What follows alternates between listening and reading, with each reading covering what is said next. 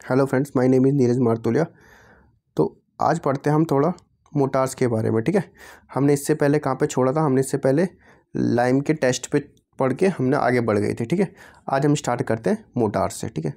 सबसे पहले motor motor की इंट्रोडक्शन पढ़ते हैं। Function of sand is to increase the strength increase bulk volume increase surface area on which mortar can be applied reduce shrinkage and produce uniform setting दो जो motor बनाने में जो सैंड का function होता है, वो क्या होता है? स्ट्रेंथ को इंक्रीज करने के लिए बल्क वॉल्यूम को इंक्रीज करने के लिए सरफेस एरिया को इंक्रीज करने के लिए किसका? जिस पे हम मोटार को अप्लाइड करेंगे reduce shrinkage and produce uniform setting, ठीक है? तो क्लासिफिकेशन ऑफ़ मोटार पढ़ना, mortars with a unit weight less than और equal to fifteen kilo newton per metre cube जो होगा, जिस मोटार की यूनिट वेट लेस देन या इक्वल टू पंद्रह किलोमीटर पर मीटर क्यूब होगा, उसको हम बोलेंगे लाइट वेट मोटार। याद रखना, पूछा जाता है पेपर में कि अगर पूछा जाए कि लाइट वेट मोटार की जो यूनिट वेट होती है, वो कितनी होती है? लेस देन या इक्वल टू पंद्रह kilo newton per metre cube होती है, ठीक है? It is preferred using saw dust asbestos fibre light weight pozzolanas along with suitable binding material ठीक है? सिंपल याद रखना। नॉर्मल वेट ऑफ़ मोटार कितना होता है? अट्ठारह से उन्नीस kilo newton per metre cube ठीक है? याद रखना। ग्रेड होता है इनका मोटार का H one grade H two grade M one grade M two grade M two grade M three grade L one grade और एल टू ग्रेड ठीक है? याद रखना। मोटार के ग्रेड होते हैं H one grade H two grade M one grade M two grade M three grade L one grade L two grade, ठीक है? तो जो स्ट्रेंथ होता है वो याद रखना मेगा पास्कल में। ग्रेटर देन टेन होता है एच वन के लिए सिक्स से सिक्स पॉइंट सिक्स से सेवन पॉइंट फाइव होता है एच टू के लिए थ्री से सिक्स होता है एम वन के लिए। दो से तीन होता है हमारा एम टू के लिए एम थ्री के लिए डेढ़ होता है one point five L one के लिए ज़ीरो पॉइंट सेवन और एल टू के लिए ज़ीरो पॉइंट फाइव ठीक है? तो ये याद रखना स्ट्रेंथ याद रखना। Refractory mortar are preferred using high alumina cement along with a crust powder of fire bricks अगर हमको रिफ्रेक्ट्री रिफैक्ट्री मोटार्स बनाना हो, उसको प्रिपेयर करना हो रिफैक्ट्री के लिए हमको मोटार प्रिपेयर करना हो तो उसमें क्या होना चाहिए? हाई एलुमिनियम सीमेंट का यूज़ करना पड़ेगा। उसके साथ क्या मिलाना पड़ेगा? Crust powder of fire bricks जो ब्रिक को हम जला के उसकी क्रस्ट करके उसके जो पाउडर बनेगा, उसको हम मिला देंगे। किसके साथ? हाई एलुमिनियम सीमेंट के लिए, ठीक है? तो वो क्या बनेगा? हमारा रिफैक्ट्री मोटार बनेगा। Lime mortar is made by mixing of lime sand and water ठीक है? अगर हमको लाइम मोटार बनाना हो सिंपल बात है लाइम मोटार की बात करें तो लाइम के साथ सैंड और वाटर को मिला देंगे तो लाइम मोटार बन जाएगा। तो लाइम इज़ यूज़ मोटार में बी फैट लाइम और हाइड्रोलिक लाइम ठीक है? जो भी हम लाइम मोटर बनाते हैं, या तो हम उसमें फैट लाइम मिला देंगे या हाइड्रोलिक लाइम बना देंगे, ठीक है? लाइम मोटर है plasticity and placeability good cohesive with other surfacing and little shrinkage shrinkage कम होती है लाइम मोटर मिलाने की वजह से। बाकी और कुछ नहीं। बाकी पोजोलोनास पढ़ो। ये बहुत इंपॉर्टेंट है पोजोलोनास ठीक है? तो activity of pozzolana when mixed with OPC the silica of pozzolana combines with the free lime release during the hydration of cement this action is called pozzolanic action ठीक है? ये ज़रूरी नहीं है। द ये भी ज़रूरी नहीं है इसके बाद। इसके बाद सिंपल इसके जो different pozzolan and their uses ठीक है? पोजोलोना में क्या क्या आ सकता है? फ्लाई एश हो सकता है, उसका कोड याद रखना। आई एस अड़तीस बारह, ठीक है? याद रखना। It is the residue form of combination of pulverise cold ये याद रखना। जो फ्लाई एश होता है, वो क्या होता है? रेसिड्यू होता है किसका? कॉम्बिनेशन ऑफ़ पल्वराइज्ड कोल का, ठीक है? कलेक्टेड बाय द मैकेनिकली और इलेक्ट्रोस्टैटिक सेपरेटर, ठीक है? ये याद रखना। Carbon content should be low as possible carbon content should be low as possible and the fineness of fly ash should be as high as possible जो carbon content होता है flies में वो कम होना चाहिए, बहुत, और जो फाइनेस होता है फ्लाई एस की, जो फ्लाई एस की जो फाइनेस होनी चाहिए, वो बहुत ज़्यादा होनी चाहिए, जितना हो सके possible silica should be present in finely divided state ठीक है? It reduce segregation and bleeding तो याद रखना, जो पोजोलोनास को किस लिए यूज़ करते हैं हम? पोजोलोनास को यूज़ करा, पोजोलोन जो फ्लाई एस होता है, वो क्या काम करता है हमारा? वो रिड्यूस करता है किसको? सेग्रीगेशन और ब्लीडिंग को याद, ठीक है? तो याद रखना। The fly ash the fly ash obtain by E S P may be have specific surface of three fifty to five hundred metre square per K G ठीक है? तो याद रखना जो फ्लाई एस ऑप्टोन करते हैं हम कहाँ से? ई एस पी से। उसकी जो स्पेसिफिक सरफेस होती है वो कितनी होती है? तीन सौ पचास से लेके पाँच सौ मीटर स्क्वायर पर के जी तक, ठीक है? Slow gain of strength reduce permeability permeability and increase setting time ठीक है? इसका काम क्या क्या होता है? फ्लाई एस का काम क्या होता है? ये स्लो कर देता है गेन ऑफ़ स्ट्रेंथ को। रिड्यूस करता है पम्बिलिटी को और इंक्रीज क्या करता है? सेटिंग टाइम को, ठीक है? ठीक है, इसके बाद इसका इतना ज़रूरी नहीं है ये ये सब हाई लेवल के लिए। बाकी उसके बाद हम बोलते हैं ग्रेनुलेटेड ब्लास्ट फंडेंस स्लैग भी हमारा क्या होता है? एक पोजोलोना होता है। इसका कोड कितना था? One two zero eight nine होता है, ठीक है? इट इज़ हाइब्रिड ये ज़रूरी नहीं है इतना पढ़ना, ये कोई ज़रूरी नहीं है। इसका सिंपल याद रखना ग्रेनुलेट ब्लास्ट फंडेंस स्लैग का आई एस कोड कितना था? आई एस बारह ज़ीरो एट नाइन, ठीक है, ये याद रखना। फिर आता है सिलिका फ्यूम के बारे में, ठीक है, सिलिका फ्यूम। ये भी कोई ज़रूरी नहीं है, इतना हमारे उसमें है नहीं तो इसको छोड़ सकते हैं हम सिलिका फ्यूम को। फिर आता है हमारे पास कंक्रीट के बारे में, ठीक है, कंक्रीट के बारे में। तो ये जो थोड़ा इंपॉर्टेंट हो गया, कंक्रीट हमारा। सबसे पहले याद रखना, सिर्फ़ इतना याद रखना आप पोजोलोना में। पोजोलोना हम क्यों मिक्स करते हैं? ताकि हमारा क्या होगा रिड्यूस हो जाए क्या? सेग्रीगेशन एंड ब्लीडिंग ठीक है? कंक्रीट की सेग्रीगेशन और ब्लीडिंग से रिड्यूस हो जाए हमारी। इसीलिए हम किसका यूज़ करते हैं? कंक्रीट में पोजोलोना का एड हम पोजोलोना मिलाते हैं। किसमें? सीमेंट में पोजोलोना मिलाते हैं हम, ताकि जो कंक्रीट बने उसमें क्या क्या ना हो पाए सेग्रीगेशन ना हो पाए और ब्लीडिंग ना हो पाए। ठीक है हमारे सीमेंट का? ये याद रखना। उसके बाद कंक्रीट के बारे में पढ़ता है। कंक्रीट में क्या होता है इसकी? हम इसको classification is based on the bulk density के बेस पे हम इसको क्या करते हैं कंक्रीट को हम थोड़ा क्लासीफाई करते हैं। तो एक होता है हमारे पास सुपर हैवी कंक्रीट जिसका bulk density greater than 2500 KG per metre cube होता है। फिर आता है हमारे पास डेंस फिर आता है हमारे पास डेंस कंक्रीट उसका क्या होता है अट्ठारह से लेकर पच्चीस सौ पर मीटर क्यूब तक। फिर आता है हमारे पास लाइट वेट कंक्रीट उसका बल्क डेंसिटी कितना होता है, पाँच सौ से अट्ठारह सौ पर मीटर क्यूब फिर आता है हमारे पास एक्स्ट्रा लाइट वेट कंक्रीट वो होता हमारा लेस देन फाइव हंड्रेड के जी पर मीटर क्यूब, ठीक है? तो ये याद रखना, ये सारे याद रखना, ये सारे इंपॉर्टेंट हैं। पूछ लिया जाता है।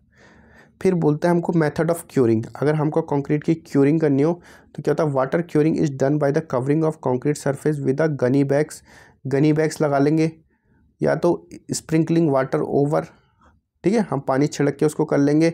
Also can be done by ponding की टाइप से हमने देखा होगा पॉन्डिंग करते हुए छत में पॉन्ड जैसा बना देते हैं। स्प्रिंग करके कर सकते हैं स्प्रिंकलिंग करके कर सकते हैं। Steam curing is done by artificial heat while concrete is maintain in moist condition this is called accelerated curing because of increase rate of strength development ठीक है? क्यूरिंग बाय इंफ्रारेड रेडिएशन ठीक है? Steam curing भी करते हैं हम। Infrared radiation से भी हम क्यूरिंग कर सकते हैं, ठीक है? इलेक्ट्रिकल क्यूरिंग होता है by passing alternate current of low voltage and high ampere amperage ठीक है, क्या करते हैं हम? इलेक्ट्रिकल क्यूरिंग भी कर सकते हैं। क्या करते हैं हम उसमें? हम पास करते हैं करंट को, किसका? लो वोल्टेज का होता है, पर हाई एम्पियर्स का होता है, ठीक है? Chemical curing by preventing evaporation from moisture from the concrete ठीक है? इस वजह से हम, इससे भी केमिकल क्यूरिंग कर सकते हैं हम, ठीक है? उसके बाद आता है हमारे पास मैकेनिकल प्रॉपर्टी तो मॉडल्स ऑफ़ इलास्टिसिटी के बारे में पता होना चाहिए हमको, ठीक है?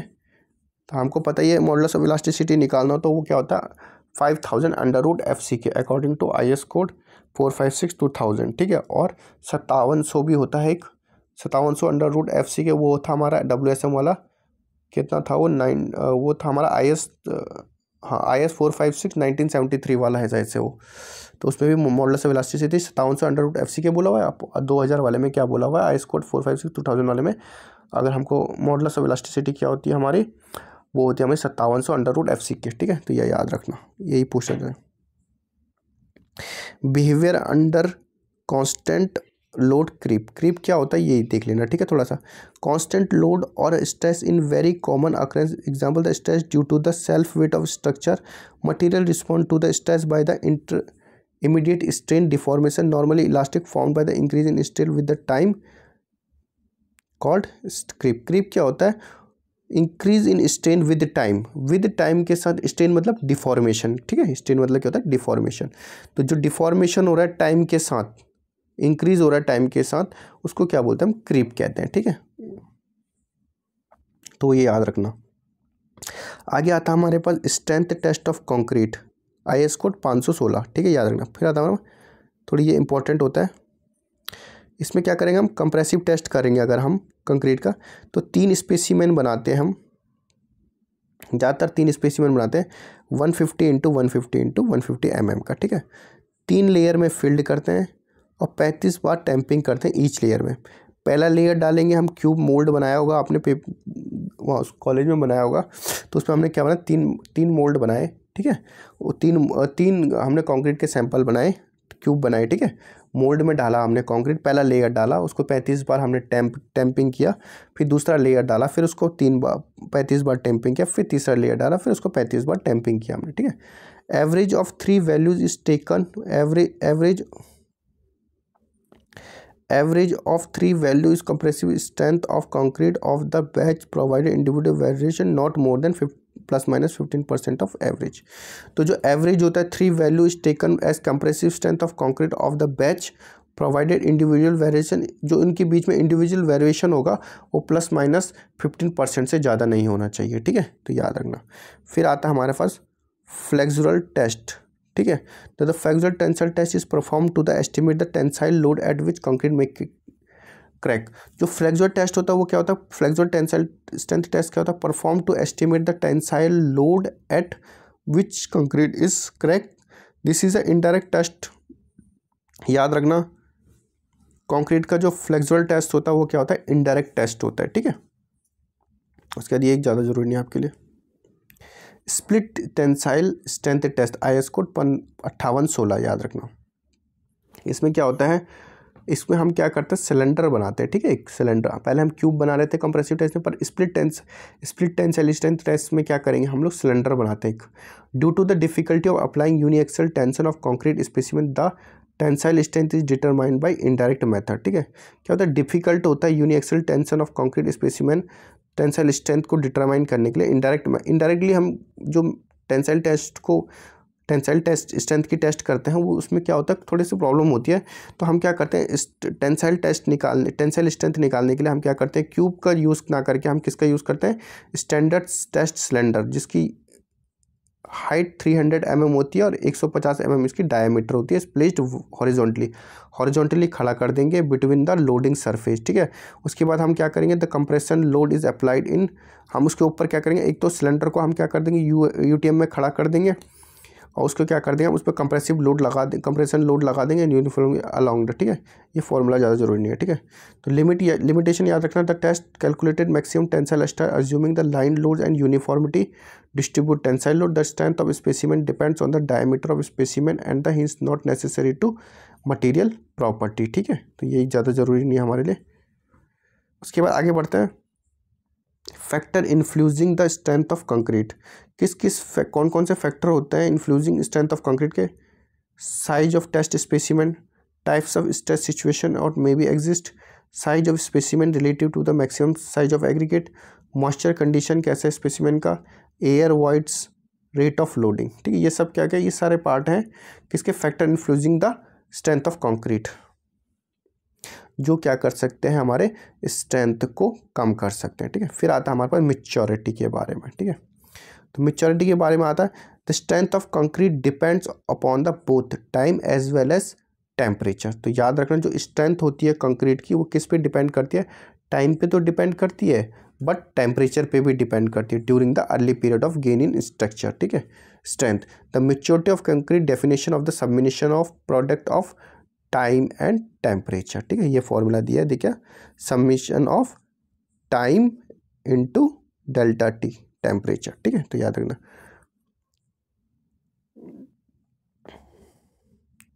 ठीक है, ये याद रखना टी नॉट जो दे रखा है टी नॉट और डेटम टेम्परेचर कितना लेते हैं? ग्यारह डिग्री सेल्सियस लेते हैं, ठीक है? ये ज़रूरी नहीं है, छोड़ो इसको।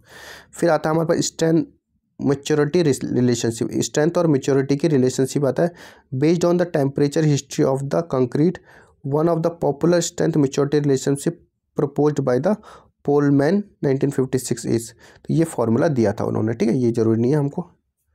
वर्केबिलिटी की बात करते हैं हम, ये थोड़ा इंपॉर्टेंट आ जाता है। Workability is referred as the ease at ease with which concrete can be transported place transported placed and consolidated with excessive banding of excessive bleeding and segregation it may be defined as the ease with which the concrete can be fully compacted and regulate question and placed uh, of deposition ठीक है तो ये याद रखना जो workability किस किस से रेफर करते हैं हम? वर्केबिलिटी मतलब क्या होता है? जो कंक्रीट की वर्केबिलिटी मतलब जो मतलब हम ट्रांसपोर्ट कर रहे हैं प्लेस कर रहे हैं कॉन्सोलिडेटेड कर रहे हैं किस with excessive bleeding and segregation ठीक है? उसको क्या होता है? वो वो हमारी वर्केबिलिटी बताती है। वर्केबिलिटी इसका मतलब होता है कि हम क्या करें कंक्रीट को क्या करें, कहीं से एक जगह से दूसरी जगह ले जा रहे हैं ट्रांसपोर्ट कर रहे हैं, उसमें क्या हो रहा है ब्लीडिंग हो रही है सेग्रीगेशन हो रहा है तो वो हमको दर्शाता है ये वर्केबिलिटी में सब कुछ। इट कैन ठीक है, उसके बाद water content mix proportion aggregate size shape and surface texture grinding in picture ये सब छोड़ो। फिर आता है हमारा मेज़रमेंट ऑफ़ वर्केबिलिटी का आई कोड कितना होता है? वन वन नाइन नाइन ये बहुत इंपॉर्टेंट है, याद रखना measurement of workability one one nine nine याद रखना आई कोड तो पहला होता है हमारे पास स्लम्प टेस्ट ठीक है, याद रखना। ये भी पूछा जाता है एग्ज़ाम्पल पेपरों में बहुत बार। स्लम टेस्ट से क्या निकालते हैं? वर्केबिलिटी कॉम्पेक्शन फैक्टर टेस्ट से क्या निकालते हैं? वर्केबिलिटी वीवी कंसिस्टोमीटर मेथड से क्या निकालते हैं? Workability flow table flow table test से क्या निकालते हैं? हम वर्केबिलिटी ठीक है? तो ये याद रखना, ठीक है? तो सबसे पहले बात स्लम्प टेस्ट की याद रखना मोल्ड का साइज़ पूछा जाता है। Bottom twenty M M top hundred M mm और हाइट थर्टी एम mm पूछ लिया जाता है, ठीक है? ये एम mm में बताया। अगर सेंटीमीटर में पूछा जाएगा तो बॉटम का जो डायमीटर होता है बीस सेंटीमीटर का होता है। टॉप का जो डायमीटर होता है वो दस सेंटीमीटर का होता है और हाइट कितना होता है? तीस सेंटीमीटर होती है। तो ये बहुत इंपॉर्टेंट है, स्लम टेस्ट में ये याद रखना। है फिर क्या करते हैं, हम मोल्ड में फ़ील्ड करते हैं। हम क्या करते हैं जो मोल्ड बना होता है, कौन साइप का, कौन शेप का आपने देखा होगा, स्लम टेस्ट करा होगा अपने कॉलेज में। तो क्या होता है जो उसमें मोल्ड होता है, उसमें क्या करते हैं हम, वो कौन टाइप का मोल्ड होता है, ठीक है? ऊपर से टॉप उसका छोटा होता है टॉप की जो डायमीटर होती है टेन होती है, जो बॉटम होता है बड़ा सा होता है, उसका कितना होता है, बीस डाया बीस सेंटीमीटर डाया होता है, और हाइट कितनी होती है, तीस सेंटीमीटर ठीक है? उसके अंदर हम क्या डालते हैं? फ्रेश कॉन्क्रीट डालते हैं, ठीक है? फ्रेश कॉन्क्रीट डालते हैं, पहला लेयर डालेंगे, पच्चीस बार उसको टैंप करेंगे, फिर दूसरा लेयर डालेंगे, पच्चीस बार टैंप करेंगे, तीसरा लेयर डालेंगे, पच्चीस बार टैंप करेंगे चौथा लेयर डालेंगे, पच्चीस बार टैंप करेंगे। आफ्टर उसके बाद क्या करेंगे हम? मोल्ड को रिमूव करेंगे। The concrete subsides the subsidence is referred in the slump of concrete the difference between the height of mould and the height of point in M M the is taken as slump of concrete ठीक है? क्या करते हैं हम? जैसे slump को हटाएँगे हम slump कोन को हटाएँगे तो जो उसका जो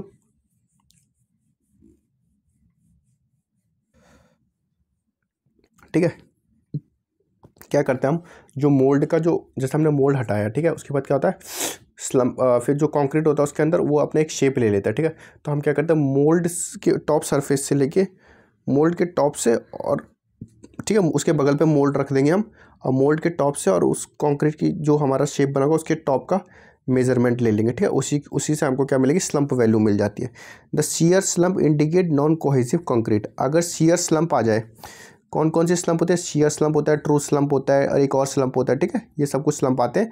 तो उसमें जो अगर जो जो शियर स्लम्प होता है, वो क्या दर्शाता है? Non cohesive concrete it may be lead segregation average values sample taken फिर आता है हमारे पास compaction factor test test is more precise and sensitive than the slump test ये बहुत ज़्यादा प्रीसियस होता है और सेंसिटिव होता है स्लम्प टेस्ट के according compaction factor test compaction factor test compaction factor is defined as the ratio of the weight of the particle compacted concrete to the weight of the fully compacted concrete, ठीक है? तो compaction factor is defined क्या होता है? Compaction फेपर क्या compacting factor क्या होता है? हमारा ratio of weight of partially compacted जो वेट ऑफ़ रेशियो किस किस का होता है? जो वेट होता है किसका? पार्शली कॉम्पैक्टेड कंक्रीट का और fully compact fully compacted concrete का, ठीक है? याद रखना। फिर आता है हमारे पास V B consistometer method this this test the test determine the time required for the transforming by the vibration a concrete specimen in the shape of conical frustum into cylinder the consistency of the concrete is expressed in V B degree which is equal to the record times in seconds ठीक है? तो याद रखना एक सबसे simple चीज़, जो we B consistometer method होता है, उसमें क्या होता है? किसके लिए यूज़ करा जाता है? वर्केबिलिटी के लिए यूज़ किया जाता है। और जो ये आंसर निकालता है, किसमें निकालता है हमको? कि वैल्यू किस चीज़ में देता है? सेकंड्स में देता है। ये चीज़ याद रखना बस इसमें, और कुछ नहीं याद करना। फिर आता है हमारे पास flow table test this test is applicable for अगर हमको हाई वर्केबिलिटी चाहिए होगी कंक्रीट की तो हम किसका यूज़ करेंगे? फ्लो टेबल टेस्ट का यूज़ करेंगे हम, ठीक है? Frustum cone is placed in two layers ये सब कुछ छोड़ो आप, ये ज़रूरी नहीं है। फिर उसके बाद फ्लो टेबल टेस्ट का वैल्यू निकालने के लिए क्या होता है? Average speed minus twenty five upon twenty five into hundred, ये छोड़ो ये को। फिर ये कुछ इंपॉर्टेंट है, ये बहुत बार पूछा जाता है, ठीक है? जैसे हमको पूछा जाए, binding concrete shallow section pavement using pavers, ठीक है? पावर्स तो अगर हमको बाइंडिंग कंक्रीट या सेलो सेक्शन या पेमेंट के लिए डिग्री ऑफ़ वर्केबिलिटी क्या चाहिए? वेरी लो चाहिए होती है हमें, ठीक है? तो उसमें जो स्लम्प या कॉम्पैक्शन फैक्ट स्लम्प की जो वैल्यू चाहिए होती है वो कैसे कैसे चाहिए तो अब ये बताएगा, ठीक है? इसमें हमको कॉम्पैक्शन फैक्टर बता रखा है, कितना होना चाहिए? Zero point seven five to zero point eight zero ठीक है? ये किसमें बताया? क्योंकि हमारा जो ये होता है कॉम्पैक्शन फैक्टर टेस्ट होता है, उसमें क्या होता है, वो छोटी से छोटी वैल्यू को देता है, ठीक है? वो पॉइंट में देता है हमारा। तो ठीक है, अगर सेलो सेक्शन पेमेंट यू पेमेंट के लिए हम क्या करेंगे? सेलो सेक्शन हो गया पेमेंट के लिए जो कॉम्पैक्शन फैक्टर होता है, उसकी वैल्यू कितनी होती है? Zero point seven five to zero point eight zero ठीक है? तो ये याद रखना। फिर यहाँ से हमारा स्लम्प वाला स्टार्ट होता है। Mass concrete mass concrete lightly reinforced section in slabs beams, walls, columns, floor, hand placed pavement, canal lining या स्ट्रिप। उसमें डिग्री ऑफ़ वर्केबिलिटी हमको लो चाहिए होती है। और कितनी होती है स्लम्प की वैल्यू? पच्चीस M M to seventy five M M ठीक है? तो याद रखना। Heavily reinforced section in slabs beams, walls, column, slip from work pumped concrete. तो उसके लिए हमको कैसी वर्केबिलिटी चाहिए कैसा डिग्री ऑफ़ वो चाहिए होता है? वर्केबिलिटी चाहिए होती है मीडियम। और पचास से सौ तक इसकी क्या होती है? रेंज होती है फिर, ठीक है? फिर आता है हमारे पास trench fill in situ filling tremie concrete इसके लिए क्या करते हैं हम? हाई होता है, ठीक है? हाई होता है हमारा, ठीक है? और स्लम्प की वैल्यू कितनी होती है? पिचहत्तर से सौ एम एम होती है, ठीक है? और इसका एक हाई वाला तो ये हो गया, एक वेरी हाई होता है, ठीक है? वेरी हाई के लिए फिर हम क्या करते हैं? फ्लो मेज़रमेंट टेस्ट करते हैं, ठीक है? फिर किसका हम यूज़ करते हैं? फ्लो टेबल टेस्ट का यूज़ करते हैं, ठीक है? वो वेरी ठीक है? इसके बाद उसके बाद आज यहाँ पे ख़त्म करेंगे हम। फिर पूछा जाता है concrete binding blinding is the process of pouring of a thin layer of concrete over the floor of new building this can be over the hard core ये कोई ज़रूरी नहीं है। स्लिप फॉर्मिंग ये कोई ज़रूरी नहीं है हमारे लिए। फिर फिर आता है हमारे पास। सिर्फ़ इनके बारे में, सिंपल मैं तो आपको एक चीज़ बताता हूँ। ये पूरा पढ़ने की ज़रूरत नहीं है। बहुत, ये आपके जेई में इतना नहीं आता, सिर्फ़ पूछा जाता है। तो non destructive testing non destructive testing मतलब डिस्ट्रक्टिव मतलब क्या होता है? तोड़ फोड़ ठीक है? तोड़ फोड़ ठीक है? तो हम क्या करते हैं, इसमें नॉन डिस्ट्रक्टिव मतलब अगर हम बिना कुछ तोड़े फोड़े ही, हम उसकी क्या कर ले टेस्टिंग कर ले, ठीक है? उस चीज़ की हम कंक्रीट की क्या कर लें, हम टेस्ट कर ले बिना तोड़े फोड़े, ठीक है? सिर्फ़ नॉन डिस्ट्रक्टिव टेस्टिंग इसको बोलते हैं। तो कौन कौन सा होता है? Pull out test penetration test ultrasonic pulse velocity test इसका आई एस कोड याद रखना आई एस तेरह one three three one one ये पूछा जाता है। अभी हाल ही फ़िलहाल के पेपर में पूछा गया अल्ट्रासोनिक पल्स वेलोसिटी टेस्ट क्या होता है? नॉन डिस्ट्रक्टिव टेस्ट होता है और इसका आई एस कोड क्या होता है? One three three one one ठीक है? याद रखना। फिर बोलता है स्केमेटिक टेस्ट हैमर इसका आई एस कोड कितना है? I S one three three one one ठीक है? ये भी नॉन डिस्ट्रक्टिव होता है, ठीक है? ये सब कुछ याद रखना आप, ठीक है? तो याद रखना नॉन डिस्ट्रक्टिव टेस्टिंग पूछा जाए, चार ऑप्शन देंगे, उसमें से पूछे इनमें से कौन सा नॉन डिस्ट्रक्टिव टेस्टिंग है, ठीक है? तो याद रखना पुल टेस्ट हो गया पेनिट्रेशन टेस्ट हो गया अल्ट्रासोनिक पल्स वेलोसिटी टेस्ट हो गया स्मेडिट टेस्ट हैमर हो गया ये क्या है सारे? नॉन डिस्ट्रक्टिव टेस्ट है हमारे, ठीक है? तो याद रखना। एल्कली एग्रीगेट रिएक्शन ये कोई नहीं पूछता। फिर एड मिक्सचर्स के बारे में पूछा जाता है, ठीक है? एड मिक्सचर्स के बारे में पूछा जाता है। तो एड मिक्सचर में क्या होता है? एक्सिलरेटर होता है रिटार्डर होता है, ठीक है?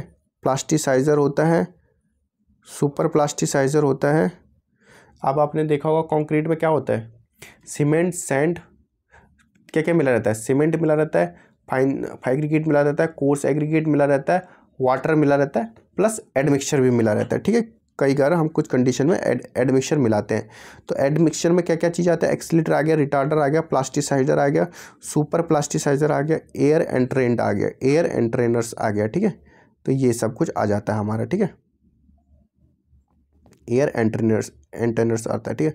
तो सबसे पहली बात एक्सीटर क्या होता है? Normally reduce the setting time ये क्या करता है? रिड्यूस करता है, क्या करता है?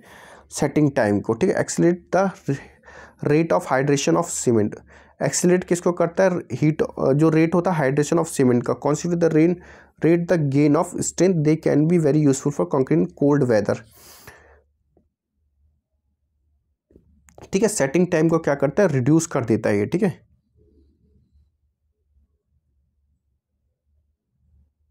ठीक है? सेटिंग टाइम मतलब रिड्यूस समझे आप कैसे सेटिंग टाइम ये सेटिंग टाइम के सेटिंग का जो टाइम होता है, जैसे तीस मिनट या मान लो कुछ भी मिनट होगा तो उससे क्या करता है? कम करने लग जाता है। ये मतलब ताकि हमारा जो सीमेंट है, वो जल्दी सेट हो जाए। ठीक है? जल्दी सेट हो जाए हमारा। ठीक है? इसलिए ये बोला गया इसमें। और कहाँ के लिए यूज़फुल होता है? कोल्ड वेदर के लिए। ठीक है? एग्ज़ाम्पल हो गया C A C L two silicate fluorosilicate या ट्राई क्या है? ट्राइथोनल एंड एमिनी ठीक है? ये चीज़ें। फिर आता है रिटार्डर रिटार्डर क्या करता है? इंक्रीज़ करता है सेटिंग टाइम को, ताकि सेट जो सेटिंग टाइम हो, वो धीरे धीरे धीरे करके क्या हो? कॉन्क्रीट हमारा सेट हो, ठीक है? याद करना। And they and they delay the setting of the cement see the this reduce of rate of hydration more water is available and better in workability ठीक है? ये याद करने की ज़रूरत नहीं है। जिप्सम कौन एक्सीटर थे ये सारे। C A C L two silicate हो गया फ्लोरोसेक्टेट हो गया ट्रेंथोनॉल एमिनी हो गया, ठीक है? ये याद रखना। रिटार्डर में हम किस किस का यूज़ कर सकते हैं? जिप्सम का यूज़ कर सकते हैं शुगर का यूज़ कर सकते हैं स्टार्च का यूज़ कर सकते हैं सिलिशियस का यूज़ कर सकते हैं, हम टैरेटिक टार्ट्रिक एसिड का यूज़ कर सकते हैं, ठीक है? फिर आता है हमारे पास plasticizer the action of plasticizer mainly to fluidity the mix and improve the workability of concrete plasticizer का मेनली क्या यूज़ होता है? फ्लूडिटी देता है मिक्स को, ठीक है? जो हम कंक्रीट मिक्स बनाते हैं, उसको फ्लूडिटी दे फ्लूडिफाई देता है उसको फ्लूडिटी कहते हैं वैसे तो ये फ्लूडिफाई नहीं होगा फ्लूडिटी होगा, यहाँ पे फ्लूडिटी देता है वो, ठीक है उसको? किसको? कंक्रीट को। और क्या करता है? इंप्रूव करता है वर्केबिलिटी ऑफ़ कंक्रीट की वर्केबिलिटी को इंक्रीज करता है कौन? प्लास्टिसाइजर। किस किस के वर्क, कंक्रीट के वर्केबिलिटी को मोटार के वर्केबिलिटी को, ग्राउट के वर्केबिलिटी को क्या करता है? इंक्रीज करता है, ठीक है? It can be reduce water requirement for up to. ये जो प्लास्टिसाइजर होता है वो क्या करता है? वाटर के रिक्वायरमेंट को पंद्रह परसेंट कम कर देता है, ठीक है? रिटार्डर के प्लास्टिसाइजर के यूज़ में हम, रूप में हम क्या क्या यूज़ कर सकते हैं? लिग्नो सल्फेट यूज़ कर सकते हैं कार्बोहाइड्रेट्स यूज़ कर सकते हैं कार्बोलिक्सिक एसिड यूज़ कर सकते हैं पॉली पॉलीग्लोसाइल एस्टर यूज़ कर सकते हैं हम, ठीक है? तो याद रखना। फिर आता हमारे पास सुपर प्लास्टिसाइजर अब प्लास्टिसाइज़र क्या कर रहा था? वाटर को सिर्फ़ पंद्रह परसेंट कम कर रहा था। बट जो सुपर प्लास्टिसाइज़र है, वो रिड्यूस कर देता है वाटर को वाटर की मात्रा को कितनी? तीस परसेंट तक, ठीक है? Chemically different substance plasticizer working in same ठीक है? प्लास्टिसाइज़र की तरह वर्क करता है। तो और सुपर प्लास्टिसाइज़र कौन कौन से हो सकते हैं? कौन कौन से होते हैं? Modified ligno lignosulphate sulphonate naphthalene formaldehyde sulphonate melamine formal ठीक है, ये सब कुछ हमारे क्या होता है सुपर प्लास्टिसाइजर होते हैं, इनके नाम याद रखना आप।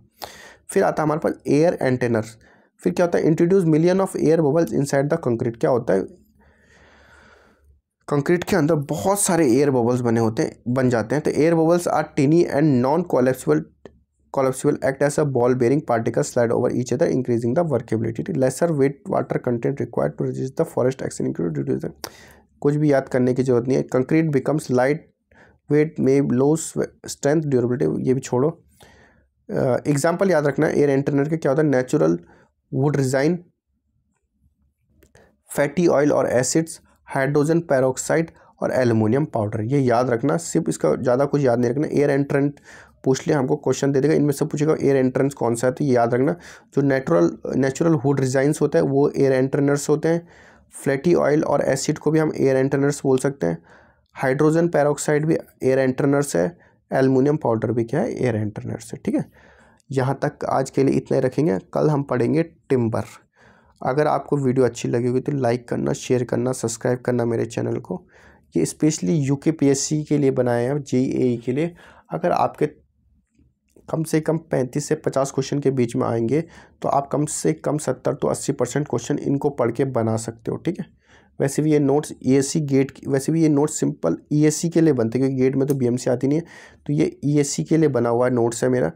तो इससे मैं आपको पढ़ा रहा हूँ, ठीक है? बाकी आपको वीडियो अच्छी लगी हो तो लाइक करना शेयर करना सब्सक्राइब करना मेरे चैनल को। अपने दोस्तों तक मेरे चैनल को शेयर करना, ठीक है?